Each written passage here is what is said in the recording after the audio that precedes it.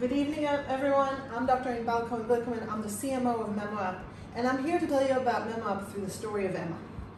Emma is a teen with autism. She's largely nonverbal, and before MemoApp had a real hard time communicating with her family, knowing um, what's about to happen, and she was very shy most of the time uh, and very passive at home. We installed MemoApp in her bedroom and her living room, and she uses it as a window into reality. She uses to avoid surprises, to know what's going to happen throughout the day. She uses it as a mode of communication with her family, and it has made her much more independent and able to even stay alone at home without supervision. Whenever Emma needs an alert, she receives it through Memo app, either with a video, a, phone, a text, or a picture. And if this can be adjusted, the alerts can be adjusted based on the cognitive function and the disability that each person has. MemoApp is also a multimedia center. Uh, caretakers can upload pictures, music, videos, and decide when and how to show them to the person with autism. It, since a lot of people with autism have a hard time managing technology, um, it can go into night mode automatically. They don't even need to turn it on and off. It's also a communication system with the family. So the family member can appear on the screen and have a video call with their members, even from a distance, and uh, they can do it without the person with autism managing technology on their own at all.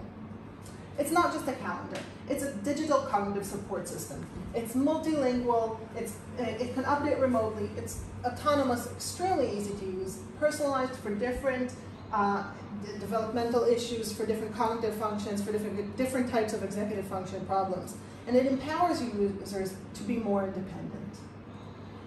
There are two interfaces to MemoApp, one for the caretaker and one for the person with autism.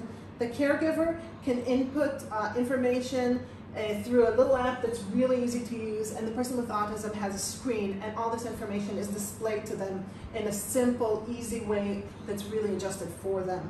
We have since managed to install MemoApp in many different settings. We use it in some group homes and hostels for people with cognitive disabilities, and it allows them to function not just better as individuals, but as teams. We have over 256 paying customers who use MemoApp regularly, and it can be installed in, for people of all ages and with many different types of cognitive dysfunction. MemoApp is a team of specialists in technology, data science, psychology, and medicine.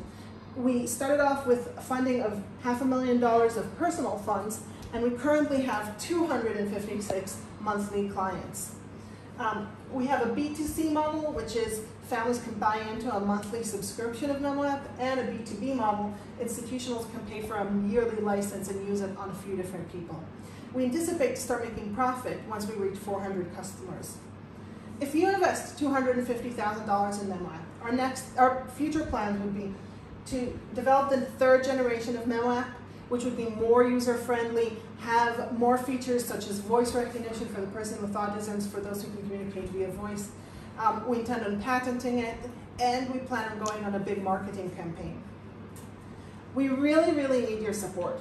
I do believe that MemoApp is an innovative and important thing that can allow people to stay more independent, avoid institutionalization, and live their life to the fullest. Um, but for us to go to the next level and to bring this technology to people, we need you to believe in us and to invest in us. So if you want to come after the show, we will have a demonstration and we will show you MemoApp on a screen in person. So please contact us. Thank you so much.